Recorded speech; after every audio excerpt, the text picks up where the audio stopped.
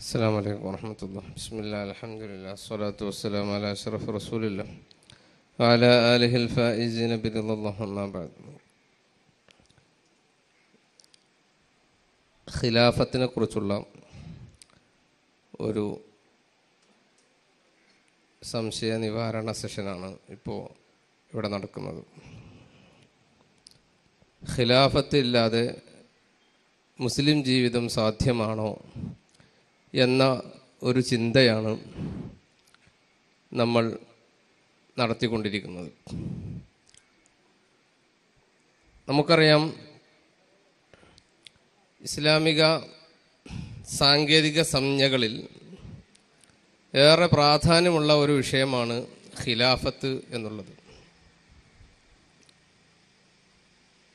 കർമ്മശാസ്ത്രപരമായും വിശ്വാസശാസ്ത്രപരമായും ചരിത്രപരമായും ഖിലാഫത്തിന് ഏറെ പ്രാധാന്യമുണ്ട്. എൽമുൽ കലാമിൽ ചർച്ച ചെയ്യപ്പെടുന്ന സുപ്രധാനമായ അഞ്ച് വിഷയങ്ങളിൽ അവസാനത്തെ വിഷയം ഖിലാഫത്ത് സംബന്ധിയായിട്ടുള്ളതാണ്. കർമ്മശാസ്ത്രത്തിൽ ഖിലാഫത്തിനെ കുറിച്ച് വിശദമായി നമ്മൾ ചർച്ച ചെയ്യുന്നുണ്ട്. ഹബിബായ സ്വല്ലല്ലാഹു അലൈഹി വസല്ലമ തങ്ങൾ വഫാത്തായ ഉടനെ മുത്തുനബിയുടെ ജനാസ സംസ്കരിക്കുന്നതിന് മുമ്പ് തന്നെ ഖലീഫ ആരായിരിക്കണം എന്നാണ് ചർച്ചയുണ്ടായത്. അതിനെക്കുറിച്ച് ഉള്ള ആലോചന നടക്കുകയുണ്ടായി. ഇതൊക്കെ നമുക്ക് ഖിലാഫത്ത് എന്ന സംഗതിക്ക് ഇസ്ലാമിലുള്ള പ്രാധാന്യത്തെക്കുറിച്ചാണ് നമുക്ക് അറിയിച്ചു തരുന്നത്. ഈ ഒരു സാഹചര്യത്തിലാണ് ഖിലാഫത്ത് സംബന്ധിയായി ഒരു സംഭാഷണം ചർച്ച ഇവിടെ നടക്കുന്നത്. ആദ്യമായി എന്താണ് ഖിലാഫത്ത്? എന്തിനാണ് ഖിലാഫത്ത്? ഖിലാഫത്ത് എന്ന സാങ്കേതിക പദം ഏതൊരു സംഗതിയെയാണ് വ്യവഹരിക്കുന്നത് എന്ന് ഉസ്താദ് വിശദീകരിക്കുമെന്ന് പ്രതീക്ഷിക്കുന്നു. അസ്സാം വലൈക്കും വാഹമത്തുള്ള ബിസ്മുല്ലാ അലഹമുല്ലാ الله والحمد لله والصلاة والسلام على أشرف رسول الله وعلى آله وصحابه الفائزين برضا الله أما بعد സമയം നിശ്ചയിച്ചത് കഴിഞ്ഞിട്ടാണ് നമ്മൾ ഈ സെഷൻ ആരംഭിക്കുന്നത് എന്ന് തോന്നുന്നു അതുകൊണ്ട് കൂടുതൽ നീട്ടാൻ സൗകര്യമുണ്ടാവുകയില്ല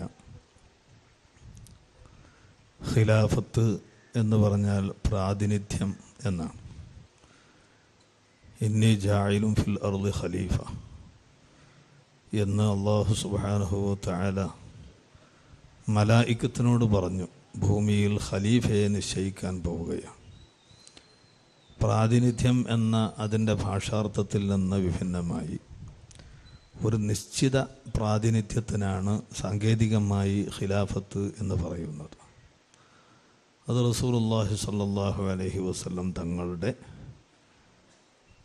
ഖിലാഫത്ത്. തിരുനബിയുടെ പ്രാതിനിധ്യം. അതുകൊണ്ട് തന്നെ എല്ലാ മേഖലകളിലും ഭൗതിക ജീവിതത്തിന്റെയും ആത്മീയ ജീവിതത്തിന്റെയും എല്ലാ മേഖലകളിലും റസൂലുള്ളാഹി സ്വല്ലല്ലാഹു അലൈഹി വസല്ലം തങ്ങൾ നേതൃത്വം നൽകിയ അതേപോലെ എല്ലാ മേഖലകളിലും നേതൃത്വം നൽകുകയാണ് ഖലീഫയുടെ ബാധ്യത. അദ്ദേഹം ചരിത്രത്തിൽ ഖലീഫമാർ ചെയ്തിട്ടുള്ളതും അത് തന്നെയാണ്. അൽ ഖിലാഫത്ത് ബാദി സലാസൂന സന. എന്റെ കാലശേഷം അൽ ഖിലാഫത്ത് മൂന്ന് മുപ്പത് വർഷമാണ്. അൽ ഖിലാഫ എന്ന് പറയുന്നത് കാമിലായ ഖിലാഫത്തിനെ കുറിച്ചാണ് എന്ന് കിതാബുകളിലൊക്കെ പറയുന്നത് കാണാം. നബി സല്ലാഹു അലൈഹി വസല്ലം തങ്ങളുടെ ആ നേതൃത്വവും അവിടുന്ന് ചെയ്ത അതേ മാർഗം ഏത് വിഷയത്തിലും അതിൽ നിന്ന് വ്യതിയാനങ്ങളില്ലാതെ അതേ ചിട്ടയിൽ മുന്നോട്ട് പോയത് മുപ്പത് വർഷമാണ്. വസൈഖൂനു മുൽക്കൻ അലൂലൻ പല രിവായത്തുകളിൽ കാണാം. പിന്നീട് അത് രാജഭരണമായി പരിണമിക്കും. ഇവിടെ വേറൊരു ഹദീസ് ഉണ്ട്. മൻമാത്ത വലം യരിഫ് ഇമാമ സമാനിഹി മാത്ത മീത്തൻ ജാഹിലീയ. ഒരാൾ മരണപ്പെട്ടു. അന്നത്തെ ആ കാലത്തെ ഇമാമിനെ അയാൾക്ക് അറിയില്ല. എന്നാൽ അത് ഒരു ഇസ്ലാമിക മരണമായിരിക്കില്ല എന്ന് അതിനെ വിവക്ഷിക്കാം. അപ്പം മുപ്പത് വർഷം കഴിഞ്ഞാൽ ഖിലാവത്ത് അവസാനിക്കുമ്പോൾ പിന്നീടുള്ളവരുടേതെല്ലാം മീത്തത്തുൻ ജാഹിലീയത്തായി മാറുകയില്ലേ എന്ന സംശയത്തിന് പണ്ഡിതന്മാർ ദൂരീകരണം നൽകുന്നത് ആ മുപ്പത് വർഷം കഴിഞ്ഞാലും ഇമാമ് ഉണ്ടാകും. അത് കാമിലായ ഖിലാഫത്ത് ആവില്ലെന്നേ ഉള്ളൂ. അന്നലക്ക് നോക്കുമ്പോൾ സമ്പൂർണമല്ലെങ്കിലും ഇസ്ലാമിക ലോകത്ത് മുസ്ലിങ്ങളുടെ എല്ലാ കാര്യങ്ങൾക്കും നായകത്വം വഹിക്കുന്ന ഇമാമ് അതുണ്ടാകണം. ഖലീഫ എന്നതിനേക്കാൾ അഹസ്സായ ഖലീഫ എന്നതൊരു അഹസ്സും ഇമാമ് എന്നത് അമ്മുമായ ഒരു സംജ്ഞയാണ് എന്ന് ഷറഹുല്ല ഖാഹിദിലൊക്കെ സൂചിപ്പിച്ചത് കാണാം. എല്ലാ ഖലീഫമാരും ഇമാമുകളാണ്. ഇമാമുകളെല്ലാം ഖലീഫമാരായിക്കൊള്ളണമെന്നില്ല. ഈ മുപ്പത് വർഷ ഖിലാഫത്ത് ആ ഖുലഫ ഉർ റാഷിദയുടെ അൽ ഖിലാഫത്തുർ റാഷിദയുടെ കാലം ആ മുപ്പത് വർഷം അത് ഖിലാഫത്താണ് ഇമാമത്തുമാണ്. അത് കഴിഞ്ഞ് കാമിലായ ഖിലാഫത്ത് ചിലപ്പോഴുണ്ടാകാം ചിലപ്പോൾ ഇല്ലാതെയുമാകാം. ചരിത്രത്തിൽ അന്വേഷിക്കുമ്പോൾ അതിനുശേഷം ആ ഖിലാഫത്തുർ റാഷിദയെ പോലെ അപൂർവം ചില നേതൃത്വം ബഹുമാനപ്പെട്ട ഉമർബിൻ അബ്ദുല്ല അസീസ് റതി അള്ളാഹുവിനെ പോലെയുള്ള ആളുകൾ ആ ഖുലഫാവുർ റാഷിദീങ്ങളുടെ കൂട്ടത്തിൽ തന്നെ പെടുത്തി പണ്ഡിതന്മാർ വിവരിച്ചിട്ടുമുണ്ട് അതല്ലാത്തത് ഭരണ സംവിധാനമാണ് അതിൽ ഏറെക്കുറെയൊക്കെ ഇസ്ലാമികമായി നടക്കുന്നതുണ്ട്. വൈകല്യങ്ങൾ ഉണ്ടാകുമ്പോൾ പിന്നെ അത് ചിലപ്പം നന്നായി വൈകല്യമുള്ളതുണ്ടാകും അല്ലെങ്കിൽ കുറച്ചുള്ളതുണ്ടാകും ഒക്കെ ഉണ്ടാകും. അപ്പോൾ ആ ഇമാമത്ത് ആമാണ് ഖിലാഫത്ത് കഴിഞ്ഞാലും അതുണ്ടാകും. വളരെ വിശദമായി തന്നെ ഉസ്താദ് അതേക്കുറിച്ച് വിശദീകരിക്കുകയുണ്ടായി. അവിടെ ഖിലാഫത്ത് മുപ്പത് വർഷമാണ് എന്ന ഒരു ഹദീസ് ഉദ്ധരിക്കുകയുണ്ടായല്ലോ. വിഷയവുമായിട്ട് നേരിട്ട് ബന്ധപ്പെടുന്ന അല്ലെങ്കിലും ഇതിന്റെ ഒരു കോറിൽ വരുന്ന അല്ലെങ്കിലും അത് പുതിയ മാനവിക ഖുർആൻ വ്യാഖ്യാന കാലഘട്ടത്തിൽ പ്രസക്തമാവുന്നത് കൊണ്ട് ചോദിക്കുകയാണ്. ഈ പിന്നെയുള്ളവർ അതുതായ രാജാക്കന്മാരാകും എന്ന് പറഞ്ഞപ്പോൾ പിൽക്കാലത്ത് പിന്നീട് മുപ്പത് വർഷത്തിന് ശേഷം വരുന്നവരിൽപ്പെട്ടവരാണല്ലോ ബഹുമാനപ്പെട്ട മുആവിയ റളിയല്ലാഹു അൻഹു. അപ്പോൾ റതി അള്ളാഹു അൻഹു ഈ ഖിലാഫത്ത് തകർക്കുകയാണ് ചെയ്തത് എന്ന രൂപത്തിൽ. മഹാനവറുകളെ വിമർശിക്കുന്ന ഒരു ശൈലിയും രീതിയും ഇപ്പോൾ കണ്ടുവരുന്നുണ്ട്. അപ്പോൾ അത് സംബന്ധമായ ഒരു വിവരണം ഇവിടെ സംഗതമായിരിക്കുമെന്ന് തോന്നുന്നു. മറ്റൊരു അനുബന്ധമായ ഒരു കാര്യം നമ്മുടെ ഖിലാഫത്തിനെ കുറിച്ച് പറഞ്ഞു പിന്നീടുള്ളത് ആദ്യം ഉണ്ടായത് അൽ ഖിലാഫത്താണ്. പിന്നെയും ഒരു തരം ഖിലാഫത്ത് ഉണ്ടായിട്ടുണ്ട്. നമുക്ക് കുറച്ചും കൂടി സൗകര്യത്തിന് വേണ്ടി അതിനെ ഇമാമത്ത് എന്ന് വിളിക്കാം എന്ന് പറഞ്ഞു. അപ്പോൾ പൂർണമായ ഖിലാഫത്ത് സാധ്യമാകില്ലെങ്കിലും സാധ്യമായ രൂപത്തിലുള്ള ഒരു ഖിലാഫത്ത് എന്ന് പറയുന്ന ഒരു സാധ്യതയെക്കുറിച്ച്. ആ അങ്ങനെ പരമാവധി കഴിയുന്ന രൂപത്തിൽ അത് മുന്നോട്ട് കൊണ്ടുപോ പോകണം എന്ന് തന്നെയാണ് ഇസ്ലാമിക കാഴ്ചപ്പാട് എന്ന് അതിൽ നിന്ന് വ്യക്തമാവുന്നുണ്ടല്ലോ. അൻഹു ഖിലാഫത്ത് തകർത്തിട്ടൊന്നുമില്ല. അത് ചരിത്രത്തിന്റെ നിയോഗമെന്നോണം മുആവിയ റളിയല്ലാഹു അള്ളാഹുവിന്റെ ഭരണമായപ്പോഴേക്ക് അലി റളിയല്ലാഹു അള്ളാഹുവിന്റെ ഭരണമാണ് ഇപ്പോൾ ഖുലഫാഉർ റാഷിദിങ്ങളുടെ നാലാമത്തെ ഖലീഫ അവിടെ നിന്നാണല്ലോ ആ ഭരണം അവിടുത്തെ ഭരണം കാലത്ത് തന്നെ മഹാബിയാർലി അള്ളാഹു അൻഹുവിന് ചിലർ ബൈഅത്ത് ചെയ്യുകയും അവർ ഒരു പ്രവിശ്യയിൽ ഒരു ഭാഗത്ത് അവരും കാര്യങ്ങളൊക്കെ നിയന്ത്രിച്ചും കൊണ്ടു വന്നിട്ടുണ്ട്. അതിനെക്കുറിച്ച് പണ്ഡിതന്മാർ പറഞ്ഞതൊക്കെ നമുക്കറിയാം. ഇജ്തിഹാദിൽ ഉള്ള ഇഖ്തിലാഫാണ്.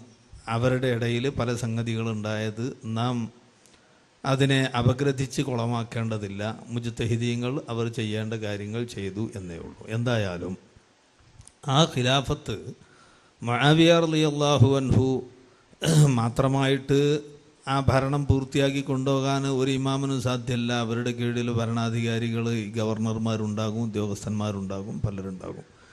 ഉദ്യോഗസ്ഥന്മാർ ഗവർണർമാർ പലരും പല കാര്യങ്ങളിലും അനധികൃതമായി ഇടപെടുകയും രംഗം കലുഷമാവുകയും ഒക്കെ ചെയ്തത് കൊണ്ട് ആ ഖിലാഫത്ത് നിഷ്ക്രമിച്ചു പോവുകയാണ് ചെയ്തിട്ടുള്ളത്. അങ്ങനെ തന്നെയാണ് ഉണ്ടാവുക എന്ന് റസൂറുല്ലാഹി സല്ലാഹു അലൈഹി വസ്ലം തങ്ങൾ നേരത്തെ പറഞ്ഞ പോലെ തന്നെ ചരിത്രം അങ്ങനെ തന്നെ ഉണ്ടായി എന്നാണ് ഇപ്പോൾ ആ വിഷയത്തെക്കുറിച്ച്. പിന്നെ മറ്റൊന്ന് രണ്ടാമത് പറഞ്ഞത് ഖിലാഫത്ത് നിലനിർത്തിക്കൊണ്ടു പോകേണ്ടതുണ്ടോ ഇല്ലേ? അതുണ്ട്. അത് ചില ആളുകൾ ഷറഹുല്ലക്കായിദന്റെ ഇബാറത്തൊന്നും ആളുകൾ ശ്രദ്ധിച്ചിട്ടില്ല എന്ന് തോന്നുന്നുണ്ട് എന്ന നിലയ്ക്ക് ചിലരൊക്കെ ഇഷ്കാൽ പറഞ്ഞതായി തോന്നുന്നു. അപ്പോൾ ഷറഹുല്ലക്കായിദ് അങ്ങോട്ട് വായിച്ചാൽ എല്ലാവർക്കും ആ സംഗതി തിരിയായിരിക്കുമല്ലോ. വൽ മുസ്ലിമോന ഇമാം നസഫി അതിന്റെ മത്തലിൽ പറയാണ്. വൽ മുസ്ലിമോന ലാബുദ്ദലഹും മിൻ ഇമാമിൻ. മുസ്ലിമീങ്ങൾക്ക് ഒരു ഇമാമ് ആവശ്യമാണ്. അർത്ഥം അതിന്റെ മാതിരി തന്നെയാണ് പറയാം. കൂടാതെ കഴിയൂല നിർബന്ധമാണ്. ആവശ്യമെന്ന് പറഞ്ഞിട്ട് ഇപ്പം അതിനെ ഒന്ന് കുറക്കണ്ട.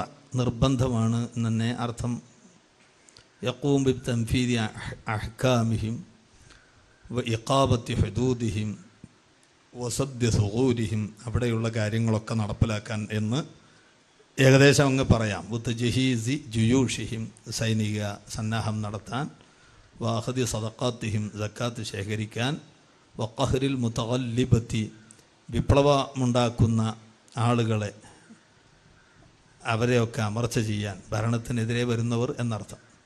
വൽ മുത്തലസിസി മോഷണക്കാർ കൊത്താഴ്ത്തരീക്ക് കൊള്ളക്കാർ ഇവരെയൊക്കെ അമർച്ച ചെയ്യാൻ അതായത് സാമൂഹ്യ ജീവിതം നല്ല നിലയ്ക്ക് നടക്കാനുള്ള കാര്യങ്ങളൊക്കെ നടത്താം വൈഹാമത്തിൽ ജുമായി ജുമ ജുമകൾ വൽ അഴിയാദി പെരുന്നാൾ നിസ്കാരങ്ങൾ ഇതൊക്കെ നടത്താനും നിലനിർത്താനും. വ ഖത്തുൽ മുനാസഅത്തിൽ വാഖിഅത്തി ബൈനൽ ഇബാദ് ജനങ്ങളുടെ ഇടയിൽ ഉണ്ടാകുന്ന തർക്കങ്ങൾക്കൊക്കെ പരിഹാരം കാണാൻ വ കബൂലി ഷഹാദാത്തിൽ ഖായിമത്തി അലൽ ഹുക്കൂക്ക് ഓരോരുത്തരുടെ കേസുകൾക്ക് സാക്ഷികളുമായി വരുമ്പോൾ അത് അനുസരിച്ച് കാര്യങ്ങൾ നടത്തി കൊടുക്കാൻ. ഇതിന്റെ ഈ ലഫ്ലംബ് ലഫ്ല മാനല്ല പറയണത്. ഞാൻ മാനയിൽ ലഫ്ലംബ് ലഫ്ല അയിലറിഞ്ഞിട്ട് തോ എന്ന് തോന്നണ്ട. എല്ലാവർക്കും തിരിയല്ലോ എന്ന് വിചാരിച്ചിട്ട്. അപ്പോൾ തസ്വീജ് സിഹാരി വ സഹാ ഇരി അല്ലദീനല ഒലിയ അലഹും. വലിയില്ലാത്തവരെ ചെറിയ പ്രായത്തിലുള്ളവരെ കല്യാണം കഴിച്ചു കൊടുക്കേണ്ട കഴിപ്പിച്ചു കൊടുക്കേണ്ട ഒക്കെ സാഹചര്യം വരുമ്പോൾ അത് ചെയ്യാൻ. വക്കിസ്മത്തിൽ ഖനായിമി ഖനീമത്തുകൾ ഓഹരി ചെയ്യാൻ. ഇങ്ങനെ ഒരു ഇമാമിന് മാത്രം നടപ്പിലാക്കാൻ പറ്റുന്ന ധാരാളം കാര്യങ്ങളുണ്ട്. അതൊക്കെ നടപ്പിലാക്കണമെങ്കിൽ ഒരു ഇമാമ് നിർബന്ധമാണ്. അപ്പോൾ ആ നിർബന്ധമായ സംഗതിയാണ് ഇമാമിനെ നിശ്ചയിക്കുക എന്നത്. അതുതന്നെയാണ് ഇപ്പോൾ ഈ ഖിലാഫത്ത്. ഈ ഖിലാഫത്ത് നടത്തി മുന്നോട്ട് പോകേണ്ടതുണ്ട്. പിന്നെ അവിടെ ഉപചോദ്യം വരുന്നത് മൂപ്പർ ചോദിക്കാനിരിക്കണത് ഞാൻ നേരത്തെ ചോദിച്ചാൽ അത് പിന്നെ ചോദിക്കണ്ടല്ലോ എന്ന് വിചാരിച്ചു. അപ്പം നമ്മളിപ്പോൾ ഇവിടെ ഏർപ്പാട് നടത്തണ്ടേന്നാണ് ഇപ്പോൾ ഇനി ഉണ്ടാകുക. അത് കൂടി ഇത് വായിക്കണതിന്റെ കൂട്ടത്ത് വായിച്ചാൽ സുഖമെന്ന് വിചാരിച്ചിട്ടാണ് അപ്പോൾ ഈ ഏർപ്പാട് ചെയ്തിട്ടില്ലെങ്കിൽ അവിടെ നാം എല്ലാം കുറ്റക്കാരാവുകയില്ലേ? നേരത്തെ നമ്മൾ ഉദ്ധരിച്ച ഹദീസ് ഉദ്ധരിച്ചുകൊണ്ട് ഇവിടെ ചോദ്യം ചോദിക്കുന്നുണ്ട്. ഫയം കീല ഫലാമാതുക്കിറ മിൻ അന്ന മുദ്ദത്തൽ ഖിലാഫത്തി സലാസൂന സന. മുപ്പത് വർഷമാണ് ഖിലാഫത്തിന്റെ കാലയളവ് എന്ന് പറയുമ്പോൾ. യക്കൂനു ജമാനു ബഅദൽ ഖുലഫ ഇർ റാഷിദീന ഖാലിയൻ അനിൽ ഇമാം. ഖുലഫ ഉർ റാഷിദീങ്ങളുടെ കാലം കഴിഞ്ഞാൽ പിന്നെ ഇമാം ഇല്ലാത്ത കാലമാകുമല്ലോ. അപ്പോൾ തഹസിൽ ഉമ്മത്ത് കുല്ലുഹും അപ്പോൾ സമൂഹം മുഴുവൻ ഈ ഉമ്മത്ത് മുഴുവൻ കുറ്റക്കാരാകില്ലേ? ഒരു ഇമാം ഇല്ലാത്തത് കൊണ്ട് ഒരു ഇമാമിനെ നിശ്ചയിക്കാത്തത് കൊണ്ടും ഒത്തക്കൂനു മീത്തത്തുഹും മീത്തത്തൻ ജാഹിലീയ അവരുടേത് ജാഹിലീയ മരണമാവുകയില്ലേ എന്ന ചോദ്യത്തിന് നാം നേരത്തെ പറഞ്ഞിട്ടുള്ള സംഗതിയാണ് ഈ ഉദ്ധരിക്കുന്നത്. അത് സബക്ക എന്റെ മറുപടിയാണ് അന്നൽ മുറാദ് അൽ ഖിലാഫത്തുൽ കാമില. സമ്പൂർണമായ ഖിലാഫത്താണ് ഈ മുപ്പത് വർഷം. അപ്പോൾ അത് കഴിഞ്ഞാലും ഒരപൂർണമായ ഖിലാഫത്ത് ഇവിടെ ഉണ്ടാകും. അങ്ങനെ ഒരു ഖലീഫ ഒരു ഇമാമ് ഉണ്ടായാലും മതി. മീത്തത്തുൻ ജാഹിയത്ത് അല്ലാതിരിക്കാൻ. അതും ഇപ്പോൾ ഇല്ലല്ലോ എന്നാണ് അവിടെ വരുന്ന ചോദ്യം. അപ്പം ആ ഇമാം ഇല്ലാത്തത് കൊണ്ട് നാം എല്ലാം കുറ്റക്കാരാവുകയില്ലേ? നമുക്ക് ഒരു ഇമാമിനെ നിശ്ചയിക്കാൻ വേണ്ടി അധ്വാനിക്കേണ്ടതില്ലേ? അതിനു വേണ്ടിയുള്ള ശ്രമം എങ്കിലും നടത്തേണ്ടതില്ലേ? അതില്ലെങ്കിൽ അത് കുറ്റക്കാരാവുകയില്ലേ എന്നതിന് ഖയാലിയിൽ മറുപടിയുണ്ട്. ബഹുമാനപ്പെട്ട ഇമാമുൽ ഹറമേനിന്റെ കിതാബാണ് റിയാസുൽ ഉമാമി ഫിൽത്തിയാസിൽ ദുലം. ഈ കിതാബ് വാങ്ങാൻ കിട്ടൂലെങ്കിൽ നെറ്റിൽ കിട്ടും വാങ്ങാനും കിട്ടും.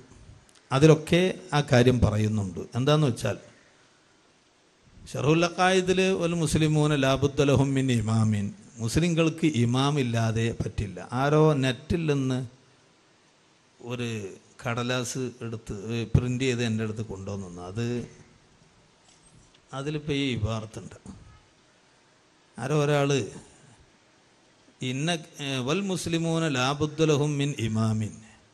എന്നത് മത്തനും ഇന്ന കസീറം മിനൽ വാജിബാത്ത് ഷറയ്യത്ത് തവക്കഫു അലൈഹി എന്ന് ഷറഹുണ്ട്. ചുരുക്കി പറഞ്ഞാൽ ഇമാം എന്തായാലും വേണം എന്ന് ഷറഹുല്ലക്കായതിലൊക്കെ ഉണ്ട്. അപ്പം അതൊക്കെ ഓത് ഓതി പഠിക്കുകയൊക്കെ ചെയ്യണം എന്ന ഒരു ശൈലിയിൽ അങ്ങനെ ഒരു കടലാസിൽ കണ്ടു. അപ്പം അത് ഓതിയതാണ് ഇപ്പോൾ ഈ വായിക്കുന്നത് അതിന് മറുപടി ഇത് ചെയ്തില്ലെങ്കിൽ കുറ്റക്കാരാകില്ലേ എന്നതിന് മറുപടി ഹയാലി പറയുന്നു. വഖദ് യുജാബു ബി അന്നഹു ഇന്നമാ എൽസമുൽ മഴസിയത്തു ഈ മഴസിയത്ത് ഉണ്ടാവുക. ഒരു ഇമാമിനെ നിശ്ചയിച്ചില്ലെങ്കിൽ നാം പാപ്പികളാവും തെറ്റുകാരാകും എന്ന് പറഞ്ഞത് ലൗ തറക്കൂഹു അൻ കുദ്റത്തിൻ വഖ്തിയാരി. അത് സാധ്യമായിട്ടും വേണ്ടെന്ന് വെച്ചാൽ മാത്രമാണ്. സാധ്യമായിട്ടും വേണ്ടെന്ന് വെച്ചാൽ മാത്രമാണ് അങ്ങനെയുള്ള ആളുകൾ കുറ്റവാളിക ആവുക. ലാ അൻ അജിസിൻ വൽത്തിറാര് അസാധ്യമാകുന്നിടത്ത് അത് വേണ്ടെന്ന് വെച്ചതുകൊണ്ടോ അതിനു വേണ്ടി മുതിരാത്തത് കൊണ്ടോ ഒരു കുറ്റവും ഉണ്ടാകില്ല എന്ന് ഖയാലി ഇത് ഈ വിഷയം തന്നെ. ഇമാമിനെ നിശ്ചയിക്കാൻ നാം ഒരുമ്പടേണ്ടതില്ലേ എന്നും. ഞങ്ങൾ ചോദിച്ചോളൂ എന്നിട്ട് പറയാം ബാക്കി. തന്നെ പറ. ഇമാമിനെ നിശ്ചയിക്കാൻ നാം ഒരുമ്പടേണ്ടതില്ലേ? അങ്ങനെ ഇല്ലാതിരുന്നാൽ കുറ്റമാകില്ലേ എന്നതിന്. ഇമാമുൽ ഹറമൈനി അദ്ദേഹത്തിന്റെ റിയാസുൽ ഉമം എന്ന കിതാബിൽ വിവരിക്കുന്നു. ഫഅഖൂലു ഇൻ തയസ്സറ നസ്ബു ഇമാമിൻ. ഇൻ തയസ്സറ നസ്ബു ഇമാമിൻ. ഒരു ഇമാമിനെ നിശ്ചയിക്കാൻ എളുപ്പമാണെങ്കിൽ.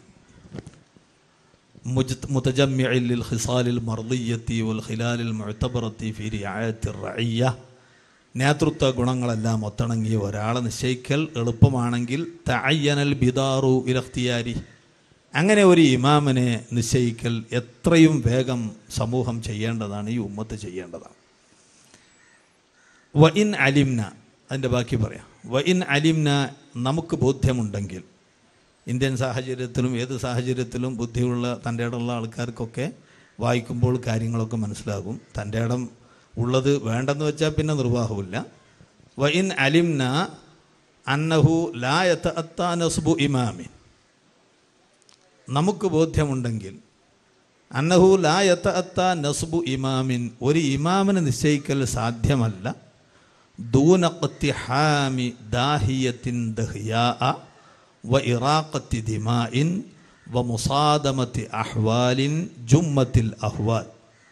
വലിയ പ്രശ്നങ്ങളും രക്തച്ചൊരിച്ചിലുകളും വലിയ ഫിത്തനകളും മറ്റുമൊക്കെ അഭിമുഖീകരിക്കേണ്ടി വരും ആ ഒരു ഏർപ്പാടിൽ നിന്നാൽ. എന്ന് ബോധ്യമുണ്ടെങ്കിൽ വ ഇഹ്ലാക്കി അംഫുസിൻ ധാരാളം ജീവാപായം വരും. വ ഇങ്ങനെയൊക്കെ ആയാൽ ഫൽ വജുഹു അവിടെ ചെയ്യേണ്ടത് അയ്യുക്കാസ നാം താരതമ്യം ചെയ്ത് നോക്കലാണ് എന്താ ഈ താരതമ്യം? മന്നാസു മദ്ഫൂഊന ഇലൈഹി മുബുത്തലൂന ബിഹി. ജനങ്ങൾക്ക് ഒരു ഇമാമിന് ആവശ്യമുണ്ട്. ആ ആവശ്യകതയും പിന്നെ എന്താണ്? താരതമ്യം ചെയ്യാൻ രണ്ടെണ്ണം വേണ്ടല്ലോ. വേണമല്ലോ ഇമാമിന്റെ ആവശ്യകതയിൽ മുന്നോട്ടു പോവുക എന്ന സാഹചര്യവും അതിനെ താരതമ്യം ചെയ്യുക ബിമാ യുഫ്രൽ ഫി മുഹാവലത്തി ദഫി ഈ ഇമാമിനെ നിശ്ചയിക്കുന്നത് കൊണ്ട് നിശ്ചയിക്കാൻ വേണ്ടി ഒരുമ്പെടുന്നത് കൊണ്ട് അതിനു വേണ്ടി ശ്രമിക്കുന്നത് കൊണ്ട് ഉണ്ടാകാവുന്ന അനർത്ഥങ്ങളും താരതമ്യം ചെയ്യണം. ഇമാം ഇല്ലാത്തപ്പോൾ അവിടെയുള്ള ഇമാമിന്റെ അഭാവത്തിൽ നാം അഭിമുഖീകരിക്കുന്ന പ്രശ്നങ്ങൾ സാമൂഹിക പ്രശ്നങ്ങളുണ്ട്. നമ്മുടെ എല്ലാ വിഷയങ്ങളും ഭരണപരമായ പല പ്രശ്നങ്ങളുമുണ്ട്. ഷർത്തത്തൊരു ഇമാമിന്റെ അഭാവത്തിൽ മുസ്ലിം സമൂഹം ആ ഇമാമിന്റെ അഭാവം കൊണ്ട് നേരിടുന്ന പ്രശ്നങ്ങളും ഈ സാഹചര്യത്തിൽ ഒരു ഇമാമിനെ നിശ്ചയിക്കാൻ വേണ്ടി ശ്രമിച്ച് മുന്നിട്ടിറങ്ങിയാലുണ്ടാകുന്ന അനർത്ഥങ്ങളും അത് രണ്ടും താരതമ്യം ചെയ്ത് നോക്കണം. എന്നിട്ട് ഫൈൻകാനൽ വാക്കിഉന്നാജിസു അക്സറ ഇപ്പോഴുള്ള പ്രശ്നം അതായത് ഇമാമിന്റെ അഭാവത്തിൽ ഇവിടെ അഭിമുഖീകരിക്കുന്ന പ്രശ്നമാണ് വളരെ കൂടുതൽ. ഇമാമിനെ നിശ്ചയിക്കാൻ വേണ്ടി ഒരുമ്പെട്ട് ഇറങ്ങിയാൽ അത് അതിന് മാത്രം വലിയ പ്രശ്നം പ്രതിസന്ധി ഒന്നും വരൂല. കുറച്ചൊക്കെ ഒരു പ്രയാസങ്ങൾ അനുഭവപ്പെട്ടാൽ തന്നെ കാര്യം നടക്കും. പക്ഷേ അദ്ദേഹത്തിന്റെ അഭാവത്തിലാണ് ഏറ്റവും കൂടുതൽ പ്രശ്നവും പ്രതിസന്ധിയും ഉണ്ട് ഉള്ളതെന്ന് ബോധ്യപ്പെട്ടാൽ അവിടെ ഇമാമനെ നിശ്ചയിക്കാൻ വേണ്ടി ഉള്ള ശ്രമങ്ങൾ നടത്തേണ്ടതാണ്. കാരണം താരതമ്യേന അത് പ്രശ്നങ്ങൾ കുറഞ്ഞതാണ്. നേരെ തിരിച്ചാണെങ്കിൽ വഇൻകാനൽ മുത്തറക്കബു അൽ മുത്തല്ലു യസീദു ഫി ലാഹിരി ദുനൂനി നമ്മുടെ കാഴ്ചപ്പാടനുസരിച്ച് ഇനി ഒരു ഇമാമിനെ നിശ്ചയിക്കാൻ വേണ്ടി ശ്രമിച്ചാൽ ആ ശ്രമം കൊണ്ടുണ്ടാകാവുന്ന അനർത്ഥങ്ങൾ ആ ഇമാമിന്റെ അഭാവം കൊണ്ട് ഇപ്പോൾ അനുഭവിക്കുന്നതിനേക്കാൾ കൂടുമെന്നാണെങ്കിൽ അവിടെ എന്താ ചെയ്യേണ്ടത്? ഫല യസൂത്തഷാഉലു ബിദ്ദഫഴി ആ പ്രശ്നം തീർക്കാൻ വേണ്ടി മെനക്കെടാൻ പാടില്ല. ബൽ ഇസ്തിമ്രാറു അനിൽ അമ്രിൽ വാക്കൽ ഇപ്പോഴുള്ള മാതിരി മുന്നോട്ട് പോകാനേ പാടുള്ളൂ എന്ന് ഇമാമുൽ ഹറമേനി പറഞ്ഞു വെക്കുന്നുണ്ട്. അലഹമില്ല ഉസ്താദ് ഈ ഇപ്പോഴത്തെ സാഹചര്യത്തിൽ ഒരു ഇമാമിനെ നിശ്ചയിക്കൽ നിർബന്ധമുണ്ടോ എന്ന പ്രശ്നത്തിനോട് പ്രതികരിച്ചത്. ഇപ്പോൾ ഇമാമിനെ നിശ്ചയിക്കുക എന്നുള്ളത് നമ്മെ സംബന്ധിച്ചിടത്തോളം പ്രയാസകരവും അതിനെ തുടർന്ന് മഫ്സദത്ത് കൂടുതലും ഉണ്ടാവുകയാണ് എന്നുണ്ടെങ്കിൽ അത് വേണ്ടതില്ല എന്നും. അതല്ല അത് സാധ്യമാകുമെന്നും അതുകൊണ്ട് മഫ്സദത്ത് താരതമ്യേന കുറവാണെങ്കിൽ അങ്ങനെ ചെയ്യണമെന്നുമാണ് അതിന്റെ മസാല എന്ന് വിശദീകരിക്കേണ്ടത്. ഇവിടെ രണ്ട് സംശയങ്ങൾ ഉയരുന്നുണ്ട്. ഒന്ന് നമ്മുടെ പരിപാടിയുമായി ബന്ധപ്പെട്ടതാണ്.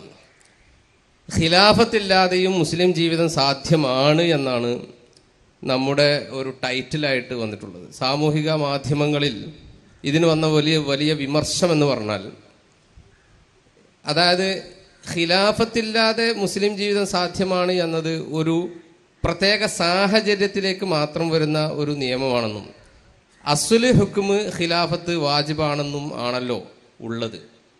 അപ്പോൾ ഇവിടെ നിസ്കാരമില്ലാതെയും മുസ്ലിം ജീവിതം സാധ്യമാണ്. പന്നിയിറച്ചി തിന്നുകൊണ്ടും മുസ്ലിം ജീവിതം സാധ്യമാണ് എന്നൊക്കെ പറയുന്നത് പോലുള്ള ഒരു വർത്തമാനമാവില്ല അത്. ഒരാൾ രണ്ടർത്ഥത്തിൽ അത് ശരിയാവും. നിസ്കാരം ഇല്ലാതെയും മുസ്ലിം ജീവിതം സാധ്യമാണ്. കാരണം നിസ്കരിച്ചിട്ടില്ലെങ്കിലും ഒരാൾക്ക് മുസ്ലിം എന്ന വിധാനത്തിൽ നിന്ന് പുറത്തു പോവില്ല എന്നർത്ഥത്തിലും അത് ശരിയാണ്. ഇനി പിന്നെ നിസ്കാരം പറ്റ ഒഴിവാക്കാവുന്ന ഘട്ടങ്ങൾ ഒരാൾക്ക് ഉണ്ടായിട്ടുണ്ടെങ്കിൽ അവിടെ അയാൾ നിസ്കാരമില്ലാതെ തന്നെ അയാളുടെ പൂർണമായ ഇസ്ലാം സാധ്യമാണ്. ഇപ്പൊ പൂർണമെന്ന് വെച്ചാലും അപൂർണമെന്ന് വെച്ചാലും ഈ ഖിലാഫത്ത് ഇല്ലാതെ സാധ്യമാണ് എന്നത് ഒരു നെഗറ്റീവ് കൊണോട്ടേഷൻ നൽകുന്നുണ്ടല്ലോ. അപ്പൊ അതുകൊണ്ട് ഇങ്ങനെയുള്ള ഒരു പിന്നെ അടയാളവാക്യമായി അതിനെ ഉപയോഗിച്ചത് അത്ര സംഗതമായില്ല എന്നാണ് ഒരു ആരോപണം. മറ്റേത് അടുത്ത് പിന്നീട് പറയാം. ഖിലാഫത്തില്ലാതെ മുസ്ലിം ജീവിതം സാധ്യമാണ് എന്നതിനോട് പന്നിയിറച്ച് തിന്ന് ജീവിതം സാധ്യമാണല്ലോ എന്നതിനെ സമീകരിക്കുന്നത് വങ്കത്വമാണ് ഖിലാഫത്തില്ലാതെ മുസ്ലിം ജീവിതം സാധ്യമാണെന്ന് പറഞ്ഞാൽ ഖിലാഫത്തില്ലാത്ത സാഹചര്യത്തിൽ ആ മുസ്ലിംകളോട് കൽപ്പിക്കപ്പെട്ട നിയമങ്ങളെല്ലാം പാലിച്ചുകൊണ്ട് ജീവിക്കാൻ സാധിക്കുമെന്നാണ് ഈ ടൈറ്റിലിന്റെ ഉദ്ദേശം. അതായത് ഒന്നുകൂടി പറഞ്ഞാൽ നേരത്തെ നമ്മൾ പറഞ്ഞതിന്റെ തുടർച്ചയാണത്. ഖിലാഫത്ത് സാധ്യമാകാത്ത ഒരു സാഹചര്യം. ഖിലാഫത്ത് ഈ അതിന് ഞാൻ ഒരു ഇബാറത്തും കൂടി ഞാൻ ഇന്ദൽ ഇംഖാനി എന്ന് പറഞ്ഞ ഇബാറത്ത് നമ്മൾ വായിച്ചല്ലോ അല്ലേ? സാധ്യമാകുന്ന സമയത്താണ് സാധ്യമാകുന്ന സമയത്താണ് നസുബുൽ ഇമാമന് കൽപ്പനയുള്ളത്. സാധ്യമാകാത്ത സമയത്ത് അതിന് കൽപ്പനയില്ല. പന്നിയിറച്ചി തിന്നാതിരിക്കാൻ സാധ്യമാകുന്ന സമയത്ത് തന്നെ പന്നിയിറച്ചി തിന്നരുതെന്ന് കൽപ്പനയുള്ളൂ. പന്നിയിറച്ചി തിന്നാതെ മുന്നോട്ട് പോകാൻ സാധിക്കില്ലെന്നാണെങ്കിൽ അവിടെ പന്നിയിറച്ചിയും തിന്നാം. മുസ്ലിമായി തന്നെ തിന്നാം. ഇസ്ലാമിന്റെ നിയമം പാലിച്ചുകൊണ്ട് തന്നെ പന്നിയിറച്ചി തിന്നാം. അപ്പോൾ ആ പറഞ്ഞത് കാര്യം ആലോചിക്കാതെയുള്ള. ഇസ്ലാം എന്താവട്ടെ? പന്നിയിറച്ചി തിന്നാലും മരിക്കാതെ കഴിച്ചിലാവുമല്ലോ? പൊറോട്ട തിന്നാലും പന്നിയിറച്ചി തിന്നാലും എന്ത് തിന്നാലും മതിയല്ലോ. എന്നല്ല ഈ പറയുന്നത്. ഒരു മുസ്ലിം മുസ്ലിമായി തന്നെ ജീവിക്കാൻ ഇസ്ലാമിന്റെ നിയമങ്ങൾ പാലിച്ചുകൊണ്ട് ജീവിക്കാൻ ഖിലാഫത്ത് ഇല്ലാത്ത ഒരു സാഹചര്യമാണുള്ളതെങ്കിലും ഇസ്ലാമിന്റെ നിയമങ്ങൾ പാലിച്ചുകൊണ്ട് ജീവിക്കാൻ പറ്റും. പന്നിയിറച്ചി തിന്നിട്ട് ലറൂറത്തിന്റെ ഘട്ടമല്ലാത്തോടത്ത് ഇസ്ലാമിന്റെ നിയമം പാലിച്ചുകൊണ്ട് പന്നിയിറച്ചി തിന്ന് ജീവിക്കാൻ സാധ്യമല്ല. അപ്പോൾ ആ പറഞ്ഞതും ഈ പറഞ്ഞതും വളരെ വ്യത്യസ്തമായ ആശയങ്ങളാണ്. ഈ ടൈറ്റിലിനൊരു കുഴപ്പമില്ല ഖിലാഫത്ത് ഇല്ലാഞ്ഞാലും മുസ്ലിം ജീവിതം സാധ്യമാണ് എന്നത് കുഴപ്പമുള്ള ഒരു പ്രസ്താവനയാണെങ്കിൽ ഖിലാഫത്ത് മുൻകരിതായിട്ട് ഇവിടെ എത്ര കാലമായി ഈ കാലങ്ങളുടെ ഇടയിൽ ഇവിടെ ജീവിച്ച ആത്മീയ പുരുഷന്മാരായ മഹാന്മാരായ ആബിദീങ്ങളും ഔലിയാക്കന്മാരും വലിയ മുഹക്കിക്കീങ്ങളായ ഉലമാക്കളും ഇവരൊന്നും ഇസ്ലാമിക ജീവിതത്തിലല്ല എന്നല്ലേ ഇതിന്റെ മറുവശം?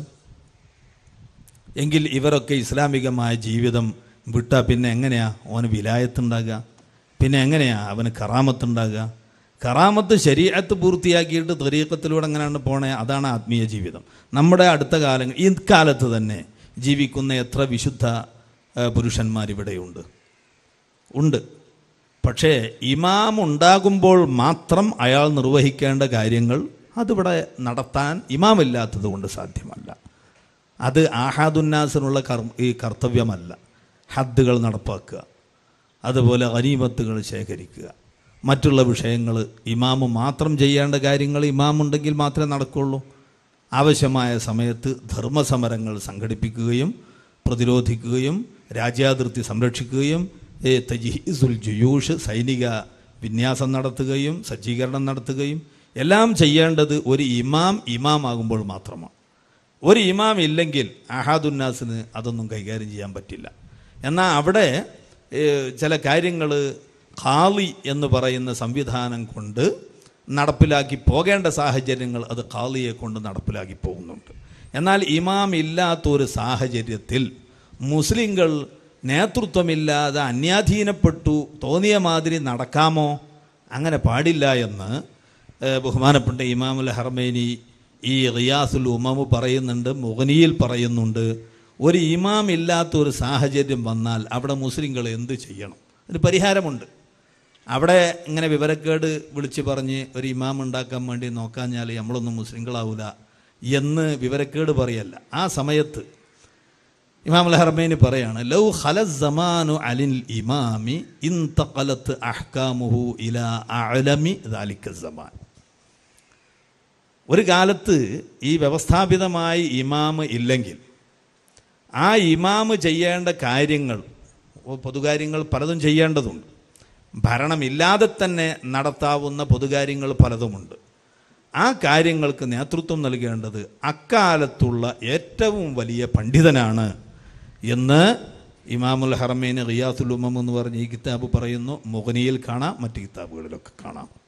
അപ്പം ഇവിടെ നമുക്ക് അങ്ങനെ ഒരു ഭരണാധികാരി ഇല്ലെങ്കിൽ ഏറ്റവും വലിയ പണ്ഡിതൻ ഇപ്പം നമുക്ക് ചൂണ്ടിക്കാണിക്കാൻ പറ്റുന്നത് ഗ്രാൻഡ് മുഫ്തി തന്നെ അദ്ദേഹം പറയുന്നത് കേൾക്കണം മുസ്ലിങ്ങളെല്ലാം എന്നാണ് നമ്മുടെ ശൈലിയിൽ പറഞ്ഞാൽ നമുക്ക് നിർദ്ദേശിക്കാനുള്ള ബദൽ സംവിധാനം. ഇത് പൂർണതയുമായി ബന്ധപ്പെട്ട ഒരു പ്രശ്നം ഉസ്താദ് പറഞ്ഞ മറുപടിയിൽ വരുന്നുണ്ട്. അതായത് നമുക്ക് ഒരു ഖലീഫ ഉണ്ടാവുകയും ആ ഖലീഫ കാര്യങ്ങളൊക്കെ ചെയ്യുകയും ചെയ്യുമ്പോൾ ഒരു പൂർണമായ ഇസ്ലാമിക സംവിധാനം നിലനിൽക്കുന്നു നമുക്ക് പറയാം.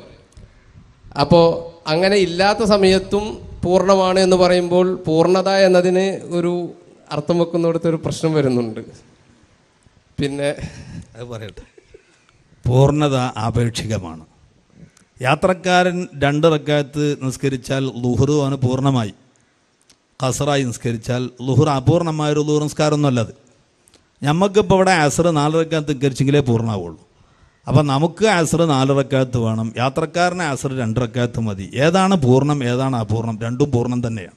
ആപേക്ഷികമാണ്. യാത്രക്കാരന് ഇത് പൂർണമാണ് നമുക്കിത് പൂർണമാണ്. ഇമാം ഉണ്ടാകുമ്പോൾ പൂർണമാകുന്ന ഒരു രൂപമുണ്ട്. ഇമാം ഇല്ലാത്തപ്പോൾ അതിന്റെ ഒരു പൂർണ രൂപമുണ്ട്. ആ രണ്ട് രൂപങ്ങളും അതാത് രൂപത്തിൽ ആചരിച്ച് നടക്കാവുന്നതാണ്. അവിടെ ഉയർന്നൊരു പ്രശ്നം. അതായത് നമ്മുടെ അസുൽ ഹുക്കുമിനെ നമ്മൾ പിന്നെ അടിസ്ഥാനപരമായി പറയേണ്ടതിന് പകരം ഫറായതിനെ ഒരു അടിസ്ഥാന തത്വമായി പറയുന്നു എന്നതാണ്. ലുഹർ രണ്ട് റക്കായത്തും നിസ്കരിക്കാം എന്നത് അല്ലെങ്കിൽ ലുഹർ രണ്ട് റക്കായത്ത് നിസ്കരിച്ചുകൊണ്ടും എന്നാണ് നിസ്കാരം സാധ്യമാണ് എന്നത് പറയുമ്പോൾ അത് നൽകുന്ന സന്ദേശം ലുഹറിന് അങ്ങനെ എന്താണ് നാല് റക്കായത്ത് തന്നെ വേണമെന്നില്ല എന്ന ഒരു ഒരു ആശ. പ്രത്യേക സാഹചര്യത്തിലാണ് എന്നതിന് പകരം അതിനെ പൊതുവൽക്കരിക്കുമ്പോൾ ഉണ്ടാകുന്ന ഒരു പ്രശ്നമാണ് നേരത്തെ പറഞ്ഞതിൽ നിന്ന് ഉയർന്നു വന്നിട്ടുള്ളത്. അതൊരു സാങ്കത്യവുമായി ബന്ധപ്പെട്ടതാണ്. അത് അടിസ്ഥാനപരമായ ഒരു വിമർശമല്ല. ആ വിമർശം തന്നെ ശരിയല്ല. സാങ്കത്യമായി ബന്ധപ്പെട്ടാണെങ്കിൽ തന്നെ യാത്രയിലുള്ള ആളുകൾ തമ്മിൽ രണ്ട് റക്കായത്ത് നിസ്കരിച്ചാൽ പറ്റൂല എന്ന് ഇഖ്തിലാഫുള്ളടത്ത് അവിടെ നോട്ടീസ് എടുക്കുകയാണെങ്കിൽ രണ്ട് റക്കായത്ത് ലൂറ് നിസ്കരിച്ചും ഇസ്ലാമിക ജീവിതം സാധ്യമാണ് എന്ന് തന്നെയാണ് അടിക്കേണ്ടത്. അപ്പോൾ ആ സാഹചര്യത്തിൽ നോട്ടീസ് ആകുമ്പോൾ ഇവിടെ അങ്ങനെ തന്നെ കൊടുക്കേണ്ടത് ഇതിന്റെ രണ്ടാമത്തെ ഭാഗത്തിലേക്ക് പ്രവേശിക്കാം. അത് ഇപ്പോൾ ഏറെക്കുറെ തീരുമാനമായല്ലോ. അതായത് ഒരു സാധ്യമായ സ്ഥലത്ത് ഒരു ഖലീഫയെ നിശ്ചയിക്കണം എന്ന് തന്നെയാണ് നമ്മുടെ അഭിപ്രായം എന്ന് ഉസ്താദ് പറയുകയുണ്ടായി. ഞാൻ നമ്മുടെ ഒരു ഇസ്ലാമിക പ്രസിദ്ധീകരണത്തിലെ ചില വരികൾ വായിക്കാം. ഇന്ത്യയെ ഇസ്ലാമിക രാഷ്ട്രമാക്കാനാവില്ല. മുസ്ലിങ്ങൾ ഭൂരിപക്ഷമായാൽ പോലും ഇന്ത്യയെ ഇസ്ലാമിക രാജ്യമാക്കേണ്ടതില്ല. ഒരു രാജ്യവും ഇസ്ലാമിക രാജ്യമാക്കി തീർക്കാൻ ഇസ്ലാം കൽപ്പിച്ചിട്ടുമില്ല. അവിടെ കേട്ടോ ബാക്കി പിന്നെ വായിക്കുക ഒന്ന് രണ്ട് ക്രമേണ അതൊരു ഇസ്ലാമിക ഭരണത്തിന് കീഴിലാക്കാൻ ഒളിഞ്ഞോ തെളിഞ്ഞോ പ്രവർത്തിക്കേണ്ടതുണ്ടോ? അതും വേണ്ടതില്ല. എന്നാൽ അവിടെയുള്ള അമുസ്ലിങ്ങളുടെ പിന്തുണയോടെ എങ്ങനെയെങ്കിലും രാജ്യം ഇസ്ലാമിക ഭരണത്തിന് കീഴിലാക്കാനുള്ള അവസരമുണ്ടെങ്കിലോ എന്നാൽ പോലും ആ രാജ്യത്തെ മുസ്ലിങ്ങൾ അങ്ങനെ ഒരു ശ്രമം നടത്തേണ്ടതില്ലെന്നാണ് ഇസ്ലാമിക കർമ്മശാസ്ത്രത്തിന്റെ നിലപാട്. അപ്പോൾ ഇതിനുള്ള സാഹചര്യം ഒത്തുവന്നാൽ പോലും നമ്മൾ അതിന് ശ്രമിക്കേണ്ടതില്ല അങ്ങനെ ചെയ്യേണ്ടതില്ല എന്ന് പറയുമ്പോൾ ഈ ഖിലാഫത്തിന്റെ ഒരു അടിസ്ഥാനത്തെ തന്നെ ചോദ്യം ചെയ്യുന്ന അല്ലെങ്കിൽ അതിനെ തന്നെ ഒരു പിന്നെ അംഗീകരിക്കാത്ത ഒരു പ്രവണതയായി അത് മാറുകയില്ലേ എന്നാണ് ചോദ്യം. ഇസ്ലാമിക രാജ്യമാക്കുക എന്നത് ഇസ്ലാമികമായി ഒരു മത്തുലുബായ സംഗതിയല്ല. ഇമാം ഉണ്ടാകുക എന്ന് പറയുന്നതും ഇസ്ലാമിക രാജ്യമാക്കുക എന്ന് പറയുന്നത് രണ്ടാണ്. ഇമാമ് ഇന്ത്യയിൽ നമുക്ക് ഒരു ഇമാമനെ നിശ്ചയിക്കാൻ പറ്റിയ സാഹചര്യമുണ്ടായാൽ അവിടെ ഒരു ഇമാമ് വേണം. ആ ഇമാമ് അവിടെ മുസ്ലിങ്ങൾക്ക് നേതൃത്വം നൽകും വേണ്ട കാര്യങ്ങളൊക്കെ ചെയ്യും. ഇവിടെ സാഹചര്യം എന്ന് വെറുതെ അങ്ങ് പറഞ്ഞു വിട്ടാൽ മതിയാകില്ല. ആ സാഹചര്യത്തിൽ നാം നേരത്തെ വിലയിരുത്തലുകൾ നടത്തി അതിന്റെ വരുംവരായികകൾ വിലയിരുത്തലുകൾ നടത്തി അങ്ങനെ ഒരു സാഹചര്യം ഉണ്ടായാൽ അവിടെ ഒരു നേതൃത്വം വേണ്ടി വരും. പക്ഷേ ആ നേതൃത്വത്തെ നിശ്ചയിക്കുമ്പോൾ ഇന്ത്യൻ സാഹചര്യം എന്ന് പ്രത്യേകം നമ്മൾ അതൊക്കെ നമ്മൾ സൂചിപ്പിച്ചാൽ മതിയാവുന്നതാണല്ലോ. ആ സാഹചര്യത്തിൽ അങ്ങനെ ഒരു ശ്രമം നടക്കുമ്പോൾ അതൊരു വലിയ ഒരു വിപ്ലവമാവുകയും വലിയ അനർത്ഥങ്ങൾക്ക് കാരണമാവുകയും ചെയ്യുന്നതാണ് ഇവിടെയുള്ള അനുഭവങ്ങൾ. ഇനി മാത്രമല്ല ഇന്ത്യൻ സാഹചര്യത്തിൽ നിന്ന് സംസാരിച്ചാൽ നമുക്ക് ഇതൊരു ഇസ്ലാമിക രാജ്യമാക്കുക എന്ന് പറയുന്ന ഒരാവശ്യം തന്നെ ഇവിടെ വരുന്നില്ല. ഇസ്ലാമിക ഭരണം നടന്നിട്ടുള്ള പ്രദേശങ്ങൾ എണ്ണൂറ് വർഷത്തോളം. തൊഫയിൽ പറയുന്നുണ്ട് ഒരു രാജ്യം ദാറുൽ ഇസ്ലാമായി കഴിഞ്ഞാൽ അതിന് മൂന്ന് രൂപങ്ങൾ പറയുന്നുണ്ട് അവിടെ മുസ്ലിങ്ങൾ എല്ലാവരും അവരൊക്കെ മുസ്ലിങ്ങളായി മാറി. ഒരു മുസ്ലിം ഭരണാധികാരിയുടെ കീഴിൽ വന്നു. അത് സിൽമായിട്ട് അല്ലെങ്കിൽ ആ രാജ്യത്ത് ഇസ്ലാമിക ഭരണം അനവത്തായിട്ട് ആയുധശക്തി കൊണ്ട് നടപ്പിലാക്കി. ഇങ്ങനെയൊക്കെ ആയി ദാറുൽ ഇസ്ലാം. ഒരു രാജ്യം ദാറുൽ ഇസ്ലാമായി കഴിഞ്ഞാൽ പിന്നെ ഖിയാമന്നാൾ വരെ ദാറുൽ കുഫറായി മാറുകയില്ല എന്ന് ഇബിന് ഹജർ ഹൈത്തമി തങ്ങൾ തുഫയിൽ പറയുന്നുണ്ട്. അപ്പോൾ ഈ ഇന്ത്യൻ സാഹചര്യത്തിൽ നിന്ന് പറഞ്ഞാൽ ഇന്ത്യൻ ദാറുൽ ഇസ്ലാമാണ് എന്ന് ഇന്ത്യയെക്കുറിച്ച് പറയുന്നത് ഈ പറയുന്ന നിയമമനുസരിച്ച് പിന്നെ ഞാൻ ആയത് പിന്നെ ഞാൻ ആക്കണെന്തിനാ? അപ്പം ആ ചർച്ചയ്ക്ക് തന്നെ പ്രസക്തി ഉണ്ടാവില്ല. അപ്പോൾ ഇന്ത്യ ഒരു മുസ്ലിം രാഷ്ട്രമാണെങ്കിൽ പിന്നെ അവിടെ ഒരു ഖലീഫയും ഉണ്ടെങ്കിൽ പിന്നെ അതിന്റെ ഒരു ചർച്ചക്ക് തന്നെ തീരെ പ്രസക്തി ഇല്ലാന്ന് വരിക ആ അത്തുഫിൽ മഹത്തൂഫ് ശരിയല്ല. മഹത്തൂഫ് അലൈ ശരിയാണ്. ഇസ്ലാമിക രാഷ്ട്രമാണ് പക്ഷേ ഒരു ഖലീഫയില്ല.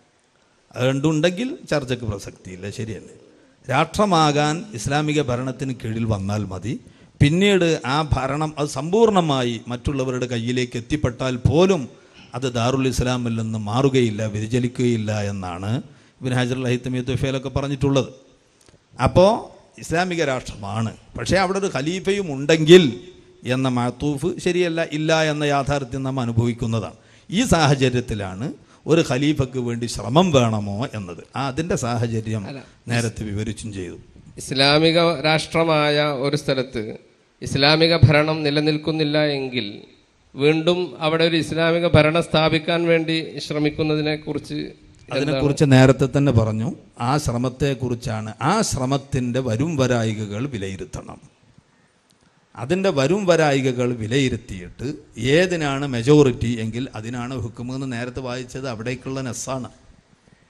നേരത്തെ പറഞ്ഞ വാരികയിൽ ഒരു ഒരു രാഷ്ട്രത്തെയും ഇസ്ലാമിക രാഷ്ട്രമാക്കാൻ ഇസ്ലാം കൽപ്പിക്കുന്നില്ല എന്ന് പറഞ്ഞതിനെക്കുറിച്ച് എന്താണ് പറയാനുള്ളത്? ഇസ്ലാമിക രാഷ്ട്രമാക്കാൻ ഇസ്ലാം കൽപ്പിക്കുന്നില്ല എന്നത് ശരി തന്നെയാണ്. ചരിത്രത്തിൽ എവിടെ അങ്ങനെയില്ല. ഒരു ഇസ്ലാമിക രാഷ്ട്രമാക്കുക എന്നത് ഒരു രാജ്യത്തെ ഇസ്ലാമിക രാഷ്ട്രമാക്കുക എന്നതിന് വേണ്ടിയുള്ള മുന്നേറ്റമല്ല ഈ നടന്നിട്ടുള്ളതൊക്കെ. അപ്പോൾ മഹാദർ അലി അള്ളാഹുവിനെ യമനിലേക്ക് പറഞ്ഞയച്ചു കൊടുത്ത് അതുപോലെ മറ്റ് പല സാഹചര്യങ്ങളും കാണാം. അവിടെയൊക്കെ റസൂലുള്ളാഹി സ്വല്ലല്ലാഹു അലൈഹി വസ്ലം നിങ്ങൾ പറഞ്ഞിട്ടുള്ള ഒരു സ്റ്റെപ്പുണ്ട്. ചെന്നിട്ട് അങ്ങോട്ട് രാഷ്ട്രം ഇസ്ലാമിക രാഷ്ട്രമാക്കാൻ വെട്ടാനും യുദ്ധം ചെയ്യാനും എന്നല്ല പറഞ്ഞു ആദ്യം ചെന്നിട്ട് നീ ഞങ്ങൾ അവരോട് പറയണം. ഞാൻ അള്ളാഹുവിന്റെ റസൂലാണ്. അള്ളാഹു താല ഏക ഇലാഹാണ് എന്ന് നിങ്ങൾ അംഗീകരിക്കണം. അവരോട് അത് പറഞ്ഞാൽ ഫൈൻ അത്താ ഫൈനുഹും അത്താ ഉലിദാലിക് അവരെ സമ്മതിച്ച് വിശ്വസിച്ചാൽ ഫാഹബിർഹും പിന്നെ അവരോട് പറയേണ്ട ഇസ്ലാം കാര്യങ്ങളൊക്കെ പറഞ്ഞു കൊടുത്തു. നിസ്കാരം നോമ്പ് തുവത്ത് ഇനി അവരതിന് സാധ്യമല്ലെങ്കിൽ അവർ അംഗീകരിക്കുന്നില്ല എന്നാണെങ്കിൽ വെട്ടിക്കൂട് എന്നല്ല പറഞ്ഞത്. അവർക്ക് നമുക്ക് നിങ്ങൾ ഇസ്ലാമൊന്നും വേണ്ട. നമ്മളത് അംഗീകരിക്കില്ല എന്ന നിലപാടിലാണ് നാട്ടുകാരെങ്കിൽ എന്നാൽ അവിടെ എന്ത് ചെയ്യണം? എന്നാൽ അവരോട് പറയണം? നിങ്ങൾ നിങ്ങൾക്ക് വേണ്ടെങ്കിൽ വേണ്ട മാറ്റിവെച്ചോളൂ പക്ഷേ ഇസ്ലാം ആവശ്യപ്പെടുന്ന ഇസ്ലാമിനായി ദാഹിക്കുന്ന ഈ ഏക ഇലാഹിലുള്ള വിശ്വാസത്തിനെ ശരിക്കും ഉൾക്കൊള്ളാൻ സന്നദ്ധരായ അങ്ങനെ ഒരു സംവിധാനം വരട്ടെ എന്നാഗ്രഹിക്കുന്ന എത്രയോ ആളുകൾ ഈ രാജ്യത്തുണ്ടാകും. അവർക്ക് ഈ സന്ദേശം എത്തിക്കാൻ നിങ്ങൾ വിലങ്ങ് നിൽക്കരുത്. അതിന് എന്തു ചെയ്യണം? അതിന് ജിസിയ എന്നൊരു സംവിധാനം. അത് സാങ്കേതികമായി എല്ലാ രാഷ്ട്രങ്ങളും ഒരു പേരിൽ അല്ലെങ്കിൽ മറ്റൊരു പേരിൽ അംഗീകരിക്കുന്നതാണ്. ആ ജിസിയ എന്താണ്? നമ്മുടെ നാട്ടിൽ ഇപ്പം നമ്മൾക്ക് ഉദാഹരണമായി നമ്മുടെ ടാ ഈ നികുതി നമ്മുടെ പറമ്പിന് മറ്റുള്ളതിനൊക്കെ നമ്മൾ നികുതി കൊടുക്കുന്നുണ്ട്. ബഹുമാനപ്പെട്ട ഉമർ ഖാലി തങ്ങൾ നികുതി നിഷേധ പ്രസ്ഥാനം എന്ന ആ ഒരു സംവിധാനമൊക്കെ നമ്മൾ വായിച്ചിട്ടുണ്ടല്ലോ.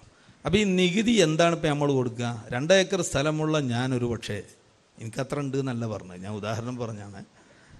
ഞാൻ അതിന് നികുതി കൊടുക്കേണ്ടത് വില്ലേജ് ഓഫീസിൽ പോയിട്ട് ഏഴ് റുപ്യ അമ്പത് പൈസ ആയിരിക്കും.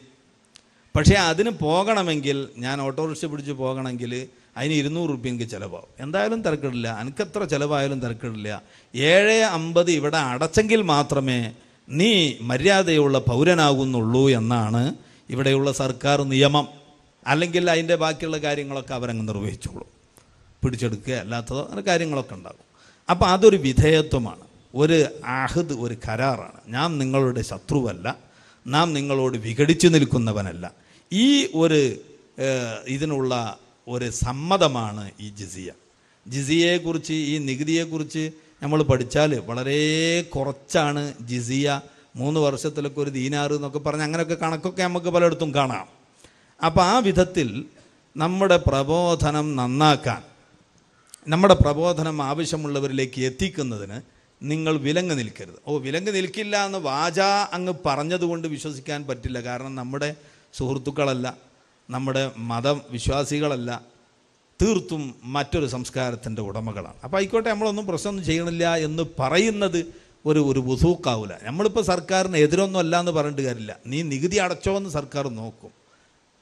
എതിരല്ല എന്ന് നമ്മൾ പറഞ്ഞാൽ നികുതിയൊന്നും അടക്കില്ല നമ്മൾ നിങ്ങളുടെ കൂടെ തന്നെ എന്ന് പറഞ്ഞ് സർക്കാർ അംഗീകരിക്കില്ല അപ്പോൾ അതിന് വ്യവസ്ഥാപിതമായ ഒരു സംവിധാനമാണ്. അതിനവർ തയ്യാറായാൽ പിന്നെ അവരോട് പ്രശ്നമൊന്നുമില്ല. ആവശ്യമില്ലാത്തവർ വേണ്ട. ഇസ്ലാം ആവശ്യമില്ലാത്തവർ വേണ്ടെന്ന് വെച്ചോളൂ. എന്നാൽ നമ്മുടെ പ്രബോധനത്തിന് വിലങ്ങ് നിങ്ങൾ നിൽക്കില്ല എന്നതിന്റെ ഒരു സമ്മതപത്രമാണ് ഈ ജസിയ. അത് അവർ സന്നദ്ധരായാൽ ഓക്കെ പ്രശ്നമൊന്നുമില്ല. നമുക്ക് അവിടെ വയൽ പറയാം നമ്മൾ ദർശനം നടത്താം നമുക്ക് പ്രസംഗം നടത്താം ആവശ്യമുള്ളവർക്ക് സ്വീകരിക്കാം. ഇവിടെയും നാം ബലാത്കാരമായ ഒരു രാഷ്ട്രത്തെ ഇസ്ലാമികവൽക്കരിക്കുന്നില്ല. ഇതും അവർ സന്നദ്ധരല്ല. ഞങ്ങൾക്ക് നിങ്ങളുടെ ഇസ്ലാമും വേണ്ട. ഞങ്ങൾ നിങ്ങൾക്ക് ഈ പ്രബോധനം നടത്താനുള്ള അനുമതിയും തരില്ല എന്നാണ് ജിസിയെ നിഷേധിക്കുന്നതിലൂടെ വരുന്നത്. എങ്കിൽ പിന്നെ നമുക്ക് പ്രബോധനം നമ്മുടെ ബാധ്യതയാണ്. ഈ നന്മ ഈ ഒരു നന്മ ജനങ്ങൾക്ക് എത്തിച്ചു കൊടുക്കണമല്ലോ. അപ്പോൾ പ്രബോധനവുമായി മുന്നേറുമ്പോൾ അവർ തടയും. ആ സമയത്ത് യുദ്ധങ്ങളുണ്ടാവും. അങ്ങനെയൊക്കെയാണ്. അപ്പോൾ സ്വാഭാവികമായി അവിടുത്തെ രാഷ്ട്രത്തലവൻ കൊല്ലപ്പെടുകയോ മറ്റോ ഒക്കെ ചെയ്യുമ്പോൾ ഇസ്ലാമിന്റെ കീഴിൽ വരും. അതിപ്പോൾ അങ്ങനെ തന്നെ ഉണ്ടാകുക? ഇസ്ലാമിന്റെ മാത്രം കാര്യമാണോ? ഇന്ത്യയും ഇപ്പോൾ പല നാട്ടുരാജ്യങ്ങളും ഇറാഖ് കുവൈത്ത് കയ്യേറിയ രണ്ട് ഇസ്ലാം അല്ലാത്തതുകൊണ്ടൊന്നല്ലല്ലോ അവർ യുദ്ധം ചെയ്തു അവിടുത്തെ കുറച്ച് ഭാഗം ഭാഗങ്ങൾ പിടിച്ചടക്കി. അത് രാഷ്ട്രീയമായി ഒരു രാജ്യത്തിന്റെ വികാസം സ്വാഭാവികമായി വരുമ്പോൾ അതങ്ങനെയായി തീരുന്നത് അതൊക്കെ നമ്മൾക്ക് ഇവിടെ നമ്മൾ കേരളത്തിൽ തന്നെ നടന്നാൽ കാണും. അമ്പലത്തിന്റെ മാതിരിയുള്ള പള്ളികൾ കാണാം. ചരിത്രമറിയാത്ത ആളുകൾ അമ്പലം പിടിച്ച് പള്ളിയാക്കി എന്ന് അതിനെക്കുറിച്ച് വിമർശിക്കുന്നതും കാണാം. കണ്ടാൽ നമ്മളെ അമ്പലത്തിന്റെയും പള്ളിന്റെയും കോല കോലം ഒരേ മാതിരി ഉണ്ടാവും. പഴയ പള്ളികൾ ആമ്പറത്തെ പള്ളിയൊക്കെ അതുപോലത്തെ പല പള്ളികളുമുണ്ട് അതിന്റെ കാരണം എന്താണ്? ചിലപ്പോൾ അത് ഒറിജിനൽ അമ്പലമായിരിക്കാം നേരത്തെ. പക്ഷേ ആ അമ്പല കമ്മിറ്റിയും അമ്പലത്തിന്റെ ആൾക്കാരും മുഴുവൻ മുസ്ലിങ്ങളായി. ഇനി അവർക്ക് അമ്പലമല്ല വേണ്ടത് അവർക്ക് പള്ളിയാണ് വേണ്ടത്. അവരവരുടെ അമ്പലത്തിൽ നിസ്കരിക്കാൻ തുടങ്ങി. അങ്ങനെ ഉണ്ടാകുന്നതിന് കുഴപ്പമൊന്നുമില്ല. എല്ലാം അങ്ങനെയാണെന്നല്ല. അന്ന് ആശാരിമാരെല്ലാവരും ആ മുസ്ലിങ്ങളാണ് അവർക്ക് ഇവിടുത്തെ ഒരു ഒരു ശ- ത- ത- ഒരു ശില്പകലയും ഒക്കെ ഉണ്ട്.